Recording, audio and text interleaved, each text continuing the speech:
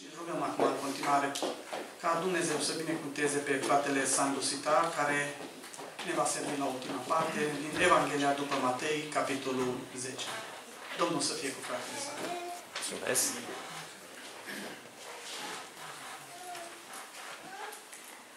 Fiindcă s-a vorbit de smochin, care practic nu are flori, iar fructul apare înaintea frunzelor, mai există pe meleagurile noastre un arbust care își scoate florile într-o splendoare extraordinară și frunzele apar mult mai târziu. Știți care e ăla?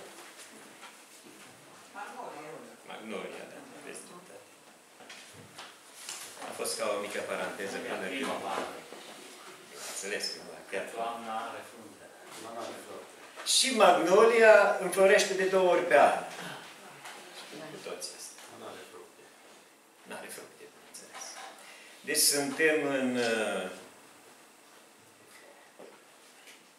discuțiile noastre în Evanghelia după Matei, a anunțat și fratele uh, Rudi, capitolul 10. Capitolul 10, am arătat noi aici, începe cu trimiterea celor 12 ucenici, la care Domnul Iisus ce le spune? Unde să nu meargă? Ce poruncă le dă? Le dă. Să nu mergeți pe calea păcătoșilor, să nu intrați în cetățile samaritenilor, samaritenilor, voi să căutați oile pierdute ale lui Israel. Bineînțeles că aceasta a fost în prima fază, pentru că dacă ne vom vedea în continuare, când El trimite pe cei 70 ucenici, de exemplu, nu le mai dă această restricție.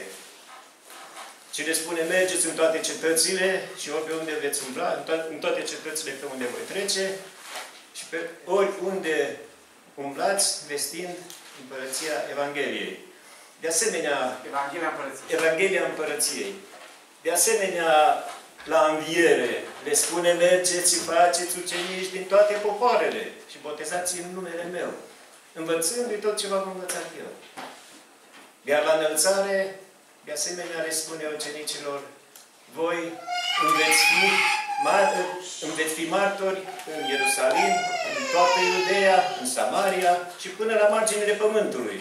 Deci, prima dată a fost restricția pentru cei 12 ucenici, bănuiesc, pentru că era la început, era ucenicie. Trebuia să prindă, să se rodeze un pic cu problemele, ca pe urmă să poată să intre în lucrare așa cum, cum le cerea misiunea în continuare. Deci,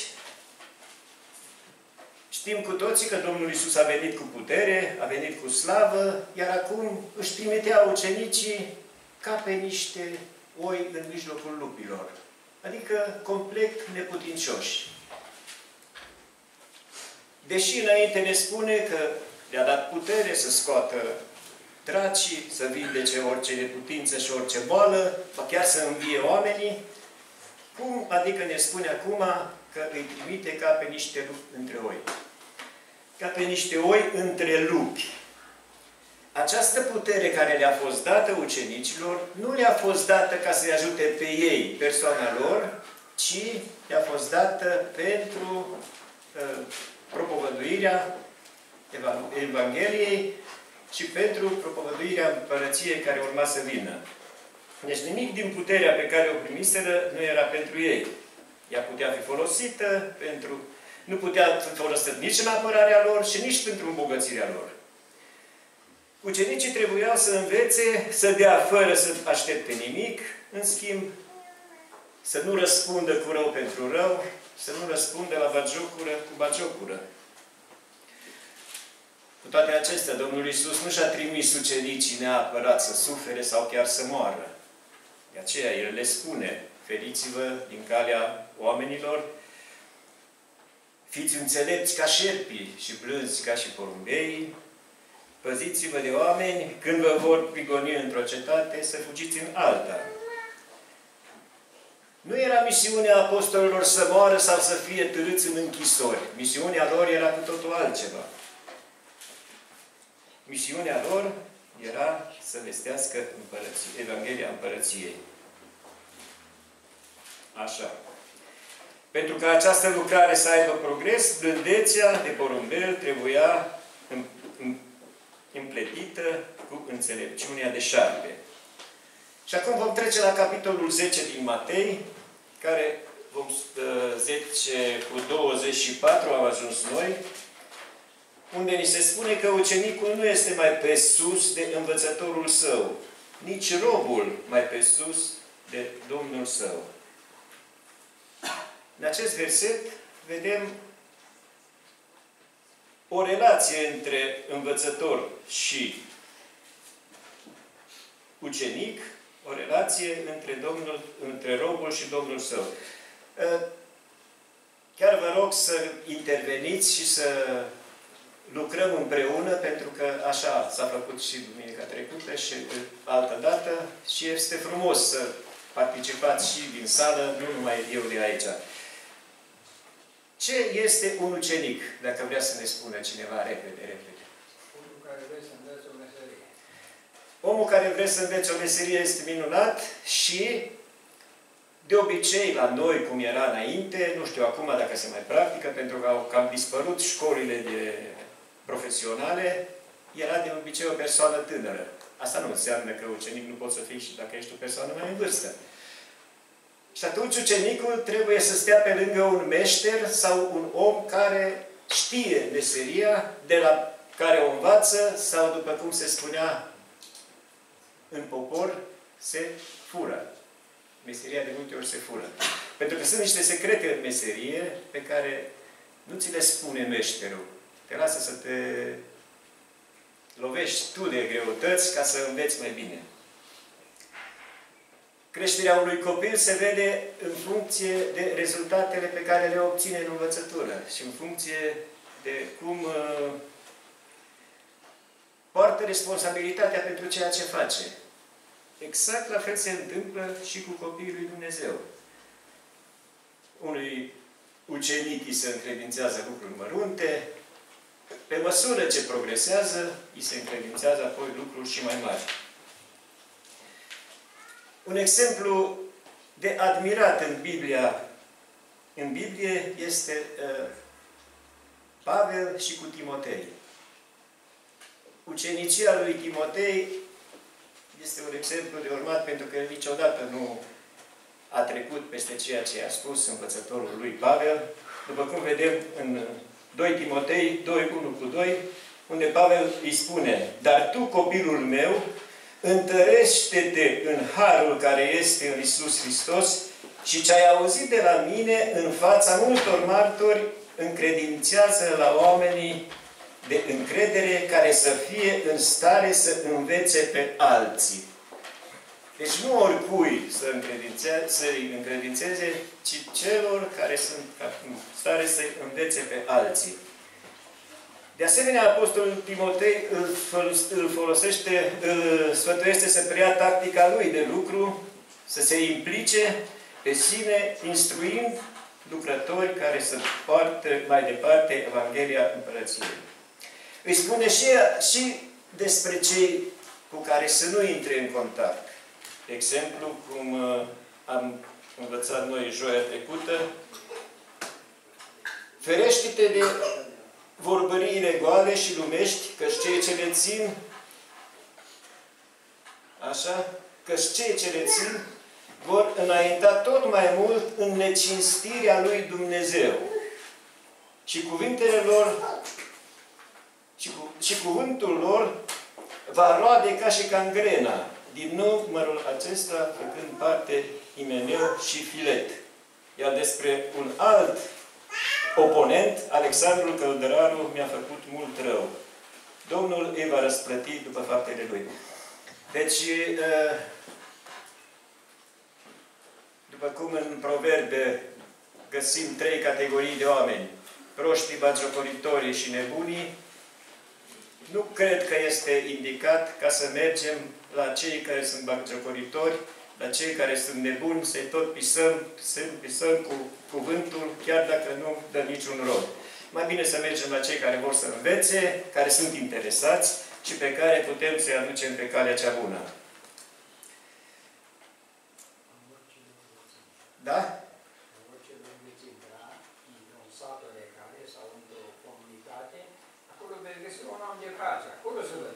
Exact, da, aia n-am amintit-o, dar... Nu să mai amintesc ceva, Timotei când se întâlnește cu Pavel și zice că e copilul lui, e copilul la sfatului, dar nu la ani. El era copil când învăța de la bunica lui Isa.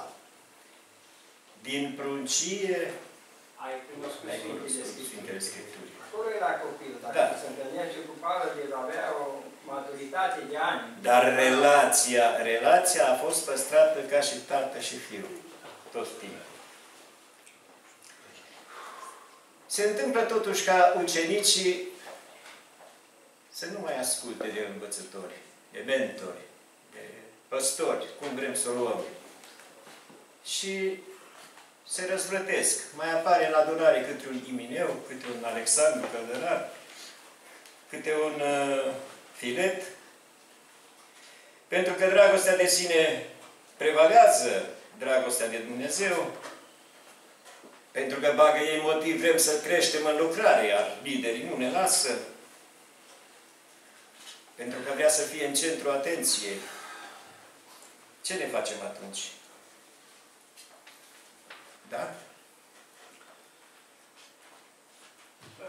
Aș vrea să răspund prim, prima dată la ce se întâmplă aici în textul care l-ai amintit, că ucenicul nu este mai presus de învățătorul lui, nici robul mai presus de Domnul lui și că ajunge ucenicul să fie ca și învățătorul lui și robul lui ca Domnul lui.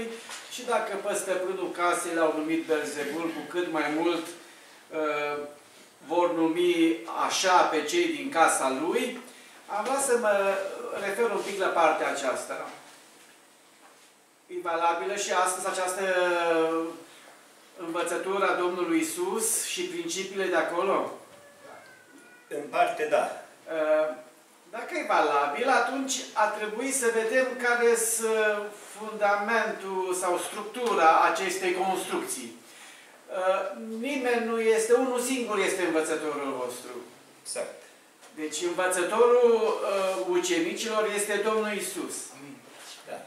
După aceea, unul singur este Domnul vostru, uh, Domnul este Domnul Isus și voi toți sunteți frați sau ucenici ai Domnului Isus. Deci dacă e valabil, cred că acestea sunt principiile care trebuie să le înțelegem. Nu să se dea cineva învățător și cineva uh, Lider. să fie mai presus decât el, ca să fie concurență, ci noi toți suntem frați, cel mai mare dintre noi este sluga celui mai mic și unul singur este învățătorul nostru. Absolut.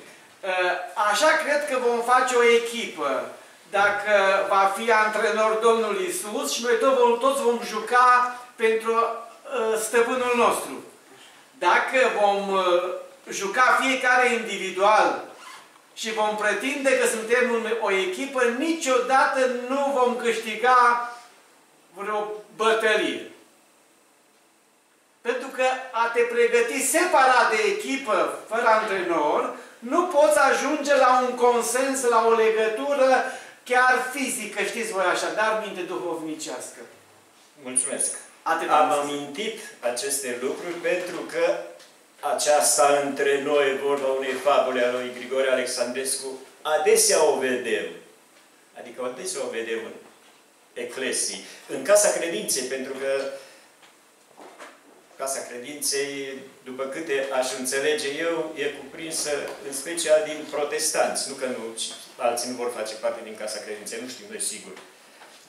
De aceea am amintit pentru că venim acum cu niște exemple de nesupunere, ca să vedem și cu ceea ce ne spune apoi Apostolul Pavel, ce trebuie să facem noi ca să nu cădem în, în, aceast, în această situație.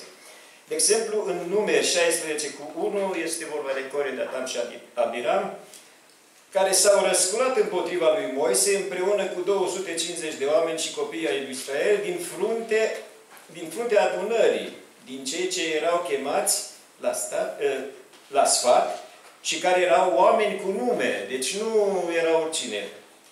Ei s-au adunat împotriva lui Moise și lui Aron și le-au zis, destul, căci toată adunarea, toți sunt, căci, da, toată adunarea, toți sunt sfinți și Domnul este în mijlocul lor. Pentru ce vă ridicați voi mai presus de adunarea Domnului? Dacă ai întrebat că este valabil și astăzi, astăzi nu se văd, nu se vede adesea că sunt unii care se ridică deasupra adunării Domnului și vor să fie în centrul atenției și vor să acapareze totul, vor să fie ascultați și așa mai departe. Pe unii ridică Domnul și alții se ridică ei. Acum ajungem Sau îi ridică acolo. oamenii. Acum ajungem acolo. Uh, Să nu uităm însă un lucru. 1 Corinteni 12 cu 28. Iată ce ne spune acum Apostolul Pavel. Și Dumnezeu a rânduit în biserică întâi apostoli, al doilea proroci, al treilea învățători. Învățătorul nostru este unul singur și totuși învățători, sub învățători ar trebui să luăm aici, Nu, sunt învățători. învățători. Apoi pe cei ce au darul minunilor, apoi pe cei ce au darul tămăduirilor, ajutătorilor, cânuitorilor și vorbirii în felurite limbi. Dacă nu se crapă pământul ca să înghită pe cei care vor să ridică, să acapareze totul, asta nu înseamnă că lui Dumnezeu îi convine de ceea ce au, de deciziile pe care le au. Pentru că noi știm ce s-a întâmplat atunci, în cazul ăla de nesupunere, cu Proeda Tam și Abnam și cei 250 care au fost înghițiți de vin. S-a crăpat pământul și au fost înghițiți de vin. Da. Nu, mulți cred că viața de creștin este o scenă unde zo- îți joci rolul și îți aștepți, îți aștepți aplauzele. Nu. Viața de creștin nu este pentru tine. Viața de creștin este cel ce a venit, cel ce a murit și a înviat pentru ca tu să ai viață. Nu venim să jucăm un rol, să fim adulați, să fim aplauzați, pentru că dacă ne gândim bine, Domnul Isus a fost aplaudat vreodată. Da? Frate Sandu, ca să nu se iște pe greșeală, acolo unde era vorba de Core, Datan și Abiram, ei ziceau, ei ziceau despre Moise și Aron că se ridică mai presus decât ceilalți. Dacă citim atenți numeri 16. Da. Adică ei acuzau pe Aron și pe Moise că se ridică. Bineînțeles, nu așa am citit. Ba da, numai că s-a înțeles uh, un pic. uh, Pentru că Moise și Aron erau puși de Domnul uh, să facă slujba. Și ei ziceau de, ei ziceau de Moise și Aron că se ridică mai presus. Și atunci Moise și Aron, sigur că le-a demonstrat că ei chiar sunt puși de Domnul și că Domnul le-a dat acel dar de a Da. călăuzi poporul și a Da. învăța poporul. Și am mers mai departe și am zis că unii se ridică ca ei să fie numiți înșiși ei, dar Apostolul Pavel ne spune, după cum am arătat foarte clar în 2 Corinteni, că Domnul le-a numit. Și Dacă ești pus de Așa Domnul, este, așa este. atunci, Așa este. Dragul meu, ucenic, trebuie să... Dom- Domnul nici de cum nu, apa, nu aprobă rebeliunea și neascultarea. Trebuie să te subordonezi, nu să-ți faci... Ce se întâmplă, de exemplu, spunea cineva că atunci când doi catolici nu se împacă, merg la papa și îi împacă, pentru că el e forul tutelar. Atunci când doi ortodoxi nu se împacă, merg la preasfințitul și îi împacă, pentru că asta e linia. Dar când doi protestanți nu se împacă, la cine merg? La cine ar trebui să meargă? Ar trebui să meargă la Domnul, pentru că ei sunt în casa credinței. Nu. O iau unul în dreapta și unul în stânga și își face fiecare bisericuța lui. Pe de-aia sunt protestanți. De asta este asta. Ca să protestezi. Da. De aceea apar și atâtea scindări, de aceea apar și atâtea rupturi, de aceea apar și atâtea denominațiuni, atâtea credințe. Ajunge ucenicului să fie ca învățătorul lui și robului să fie ca domnul lui. Dacă pe stăpânul casei l-au numit Belzebul, cu cât mai mult vor numi așa pe cei din casa lui. Păi, Dacă stăm și ne gândim bine, cine este stăpânul casei aici? Domnul Isus. Domnul Isus. Pe Domnul Isus toată viața Lui a făcut numai bine.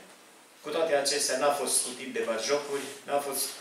Fiecare gest al Lui se lua în considerare, n-a fost scutit de denigrări și cu toate, cu toate acestea ă, imaginați-vă până unde a, a ajuns de la un numit Belzebul. Domnul Isus a prevăzut acest lucru și le-a spus, nu vă mirați dacă vă urăște lumea. Știți că pe mine m-a urât întâi. Dacă vom fi vorbiți de rău datorită adevărului și serviciului nostru pentru el, avem în aceasta o dovadă în plus că suntem pe calea cea bună. Ferice va fi de cei prigoniți pentru numele meu și așa mai departe. Și Sfântul îmi scrie în fericirea a opta. Așa.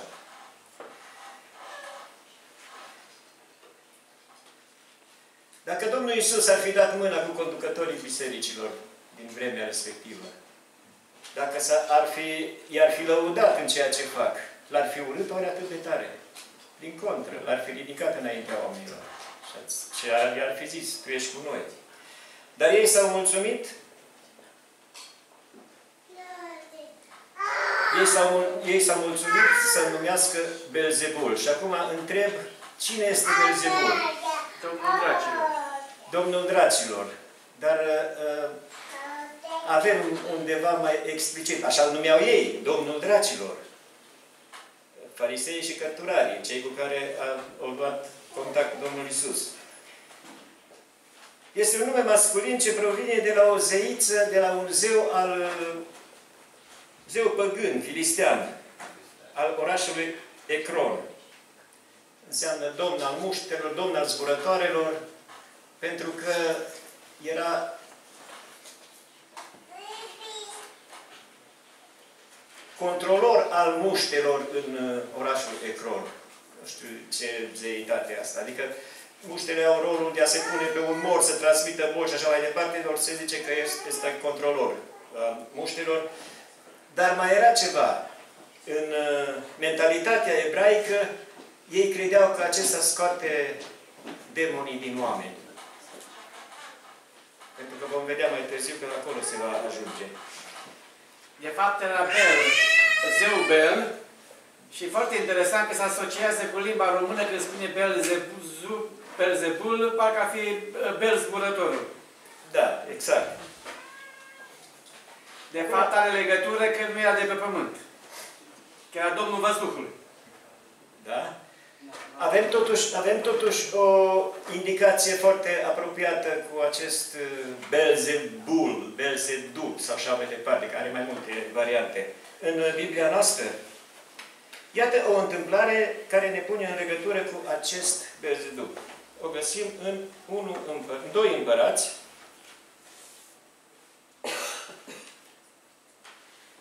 nu, nu e asta, unu împărați, 1 și până la 8, 18, dar nu vom citi atâta. Voi citi vreo patru versete ca să vedem despre ce este vorba. Moab s-a răzvrătit împotriva lui Israel după moartea lui Ahab. Ahab cel care moare, după cum poezia al fratele Iulian ne-a arătat, moare în condiții destul de... Ahazia a căzut prin zăbrele Ahazia, adică urmașul lui la tron, odăi de sus în Samaria și s-a îmbolnăvit. A trimis niște soli și le-a zis, duceți-vă și întrebați pe Belzebub, Zebub, Dumnezeul Ecronului, ca să știu dacă mă voi vindeca. Și acum urmează știrea foarte frumoasă, dar Îngerul Domnului a zis lui Ilie Tishbitul, scoală-te, suie-te înaintea solilor împăratului Samariei și spune-le, oare nu este Dumnezeu în Israel de vă duce să întrebați pe Belzebub, Dumnezeul Ecronului? De aceea, așa vorbește Domnul.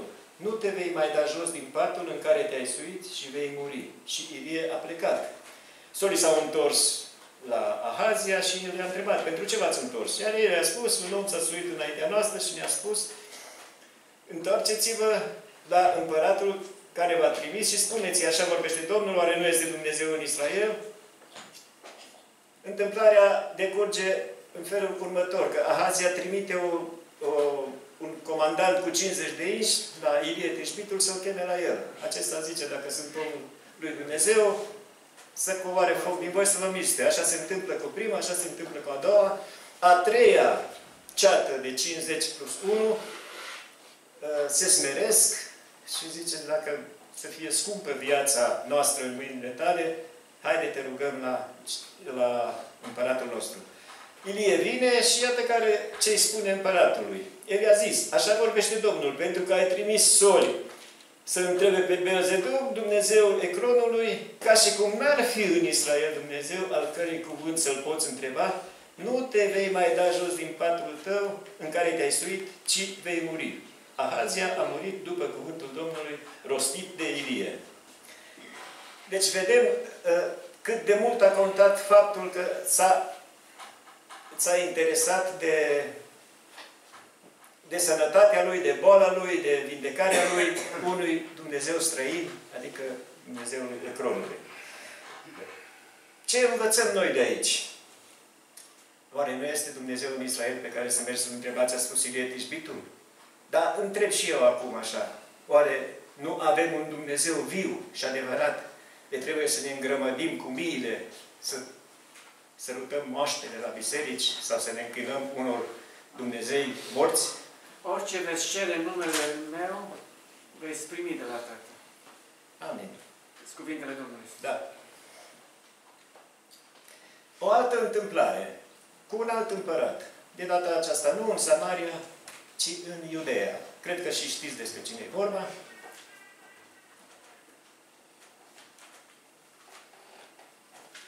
În vremea aceea, Ezechia a fost bolnav de moarte, prorocul Isaia, fiul lui Amoț, a venit la el și a zis, Așa vorbește Domnul, rânduiește ce ai, ce ai de rânduit casei tale, căci vei muri și nu vei mai trăi. Ezechia s-a întors cu fața la perete și a făcut Domnului următoarea rugăciune. Doamne, adu-ți aminte că am umblat înaintea feței tale cu credincioșie și curăție de inimă și am făcut ce este bine înaintea ta. Și Ezechia a vărsat multe lacrimi. Isaia, Isaia care ieșise, n-ajunsese încă în cutea din mijloc, când cuvântul Domnului a vorbit astfel. Întoarce-te și spune-i lui Ezechia căpetenia poporului meu. Așa vorbește Domnul Dumnezeul Tatălui tău. Ți-am auzit rugăciunea și ți-am văzut lacrimile, iată că te voi face sănătos. A treia zi te vei sui la casa Domnului. Un împărat și un alt împărat, dar dacă rugăciunea a fost sinceră și cu lacrimi, Domnul l-a însănătoșit și a mai lungit încă viața cu câte zile? Cu 15 zile. Mulțumim. 15 ani. Scuzați-mă. Din viteză. Da. Mergem mai departe.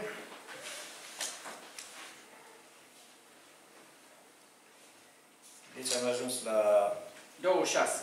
26.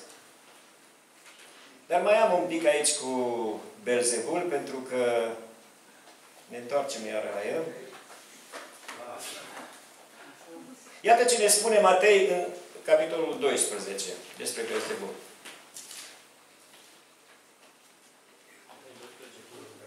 12 cu 22.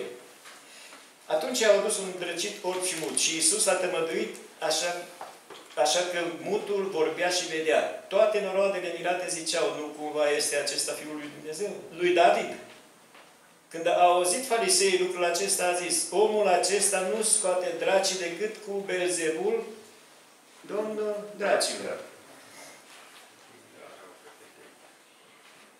Iisus care le cunoștea gândurile le-a zis, orice împărăție dezminată împotriva ei însăși este pustită și orice cetate sau casă dezminată împotriva ei însăși nu poate dăinui.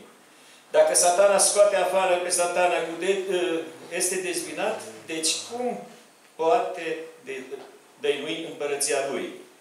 Și dacă eu scot afară dracii cu ajutorul lui Belzebul, fiii voștri, cu cine îl scot? De aceea ei vor fi judecătorii voștri. Dar dacă eu scot afară dracii cu Duhul lui Dumnezeu, atunci împărăția lui Dumnezeu a venit peste voi. Sau cum poate cineva să intre în casa celui tare și să-l jefuiască gospodăria dacă n-a legat mai întâi pe cel tare? Numai atunci îl va, îi va jefui casa. Ă, dar înainte, dacă pe stăpânul casei l-au numit Belzebul, cum nu o să numească la fel și pe ceilalți? Și stăpânul casei era Domnul Isus. Acum, sau cum poate cineva să intre în casa celui tare? Cine era cel tare aici în casă?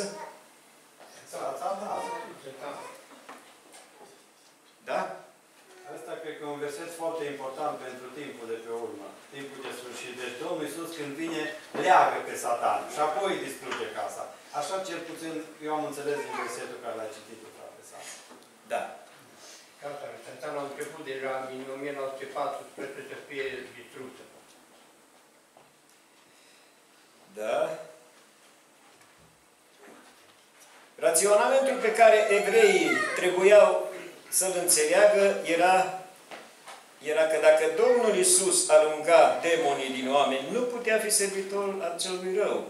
Nu poți fi un slujitor al lui Dumnezeu să lupți împotriva și să lupți împotriva lui făcând jugul diavolului. Adevărul era că partea Adevărul era de partea Domnului nostru Isus. El scotea dracii cu degetul lui Dumnezeu, ceea ce înseamnă că Belzebul invadase pământul ca să nimicească lucruri, ceea ce înseamnă că uh, Domnul Isus venise pe pământ ca să zădărnicească lucrurile lui Belzebul. Dacă omul tare, bine înarmat, care își păzește casa este diavolul, cu întreaga lui armată, atunci cel mai tare este Domnul Isus, Cu armata lui. cu arm... Domnul Isus care l-a biruit. Voi redea doar așa un, un nume descriptiv al celui rău este Belial. Vă aduceți aminte de acest nume Belial? 2 Corinteni 5 cu 2 Corinteni 6.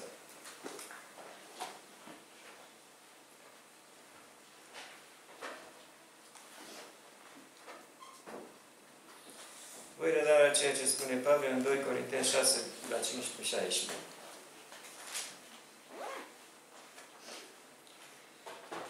Ce înțelegere poate fi între Hristos și Belial?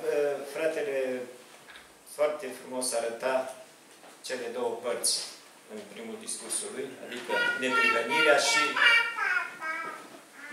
Sau ce legătură are cel credincios cu cel necredincios? Teză și antiteză.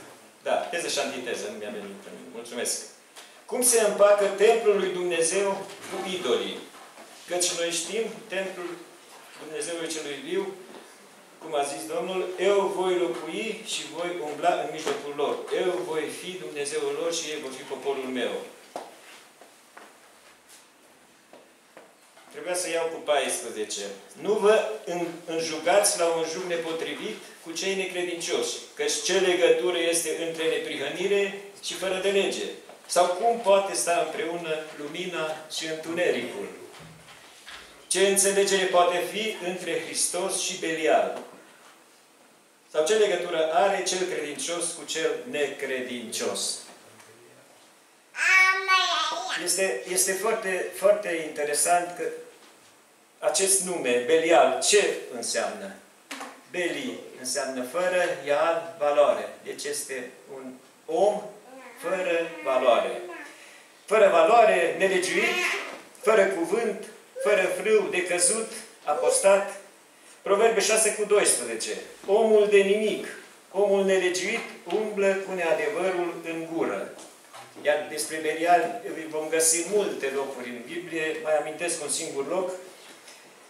Judecător 19 cu 22, niște fii ai lui Belial au înconjurat casa și au zis stăpânului casei, scoate pe omul acela care a intrat la tine ca să ne împreunăm cu el. Și apoi știm ce s-a întâmplat, o tragedie care a ajuns până acolo încât aproape că, trebuie, că a dispărut o seminție, seminția lui Beniamin după această întâmplare. De fapt, cuvântul Bel vine transformat pe urmă în Baal și în Baali, că sunt mai mulți stăpâni de la da. Bel, înseamnă stăpân. Sau Domnul. Și când îi zici Domnul uh, fără valoare, atunci zici că e un Domn fără valoare. Da, era.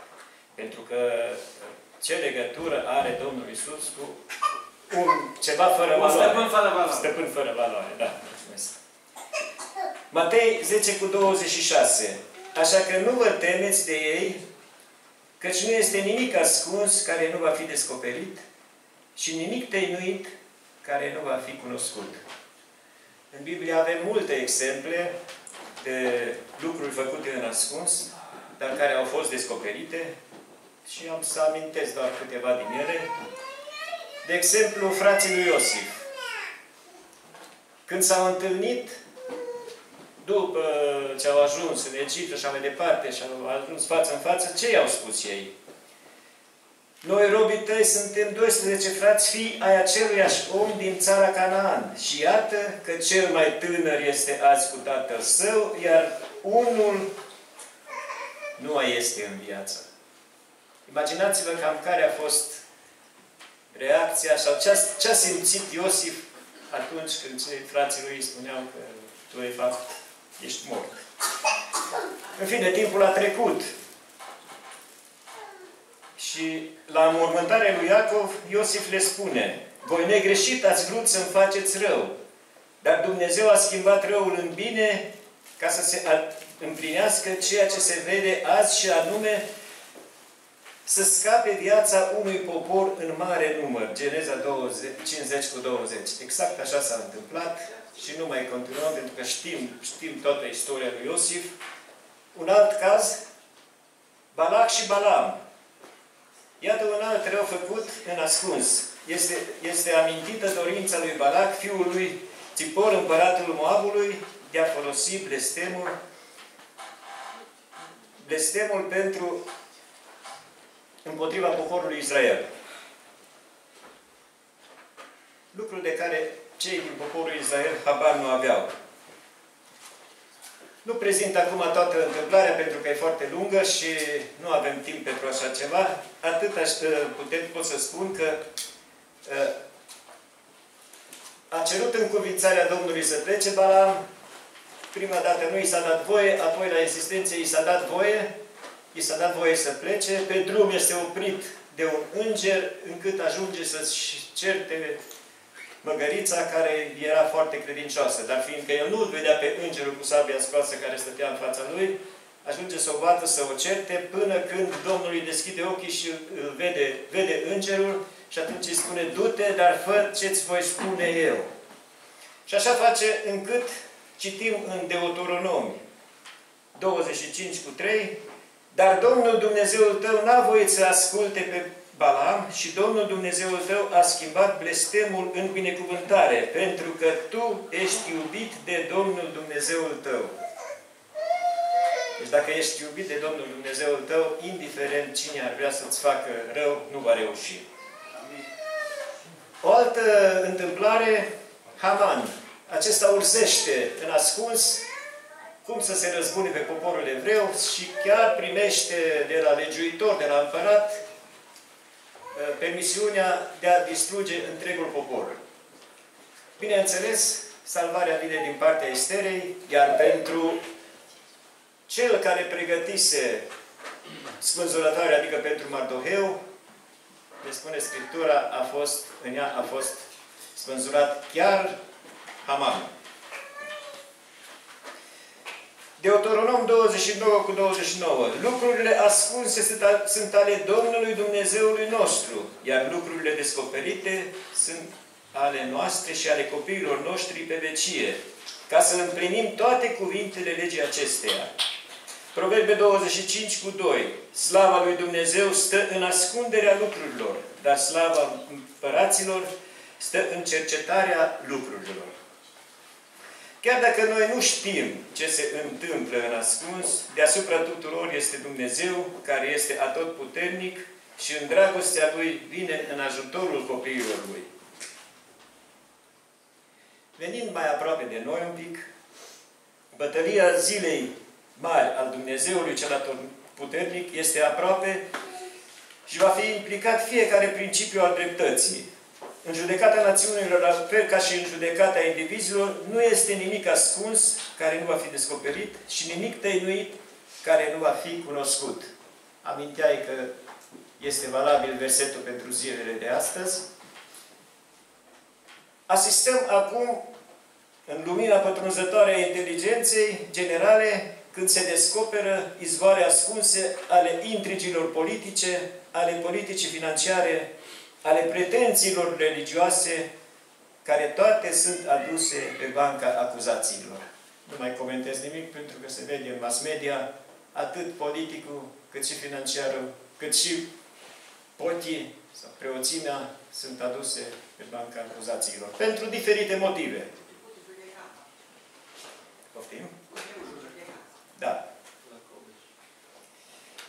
În spatele fiecărui conflict se află cauzele care, care le inspiră, nedreptăți naționale și individuale, reale sau, de multe ori, poate imaginabile. De aceea, toți care iubesc dreptatea și urmează pacea, trebuie să se, supun, să se pună cu siguranță, să-și pună cu siguranță casa în ordine. Așa cum i-a spus lui Ezechia, pentru că timpul este foarte aproape. Sunați din trâmbiță, ne spune Ioriel în 2 cu 1, sunați din trâmbiță în Sion, sunați în gura mare pe muntele meu cel sfânt, ca să tremure toți locuitorii țării, căci vine ziua Domnului, este aproape. Da? Nu vreau să te întrerup, numai... Da, da, întrerupe că... Aș vrea numai să citesc două versete. Da. Referitor la ce a făcut Domnul Isus când a venit atunci prima dată, nu a da. doua oară. Citesc din Coloseni, capitolul 2, unde spune a dezbrăcat domniile și stăpânirile și le-a făcut de o cară înaintea lumii după ce a ieșit biruitor asupra lor prin cruce. Amin. Uh, apropo de dezbrăcat, că amintea fratele la prima oră.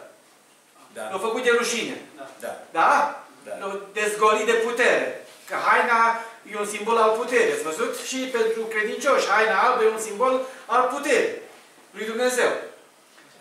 Uh, și mai este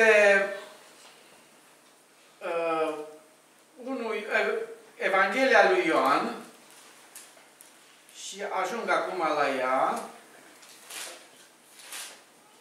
unde zice Domnul Isus, la 12, stăpânitorul lumii, așa,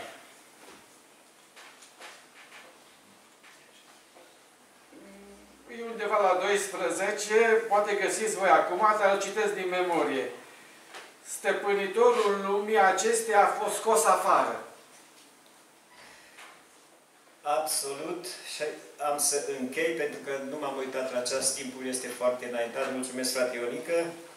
12 cu 31. Acum are loc judecata lumii acesteia. Acum stăpânitorul lumii acesteia va fi aruncat afară. Acum. Da. Deci cum poate cineva să intre în casa celui tare dacă nu îl leagă mai întâi, îl dezbracă și scoate afară? Da. Bun, ă, asta e o discuție mult viitoare. Discuție mai lungă. Eu, eu am să închei cu un verset din Evrei, ca să vedem pentru ce a venit Domnul nostru Isus, pentru că era vorba de frică. Acum va urma un verset cu frică, care îl va dezvolta un frate duminica viitoare.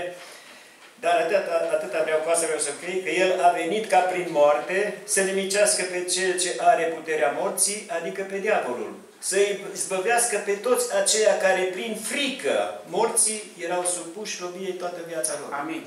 Vedeți cu ce, cu ce e în frică cu religia, cu iadul, cu focul veșnic și așa mai departe. Iar noi am fost izbăviți de această frică care eram supuși robiei toată viața noastră. Mulțumim Domnului că ne-a arătat această cale, că ne-a atras spre El. Iar prin Domnul Isus vom ajunge în frumoasa împărăție. Mulțumesc pentru că m-ați ascultat. Dacă am greșit, vă rog să-mi cer, cer scuze. Zic Domnul să ne ajute la toți. Amin. Amin. Mulțumim Tatălui Ceresc și fratelui Sandu pentru cuvintele pe care le-a adus. Ehm, știți că pe lângă cei care sunt în adunare mai sunt o parte, frați și sorori, care ne urmăresc pe internet și din când în când mai au și dorință de o cântare. Acum s-au nimerit să fie două cântări și sper să aveți răbdare pentru ei să le cântăm pe amândouă. Prima cântare, Eroi Slave, și cu vom încheia cu cântarea 133, Eu când ne încetat deși.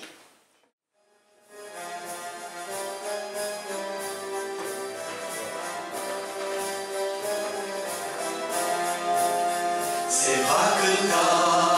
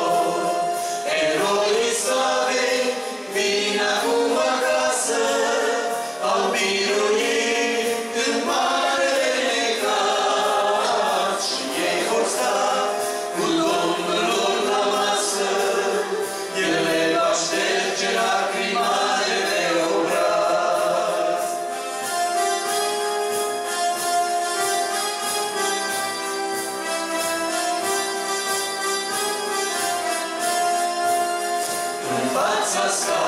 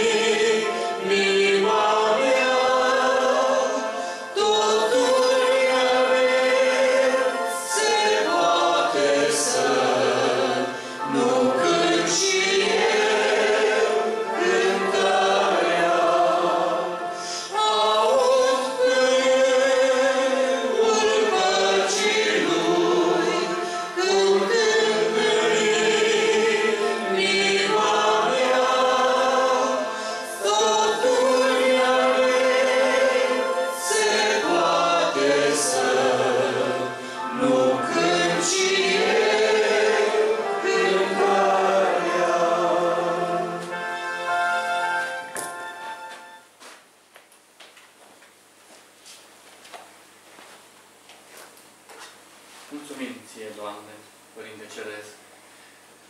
Mulțumim pentru belșugul de har și de durare care îl vedești peste noi.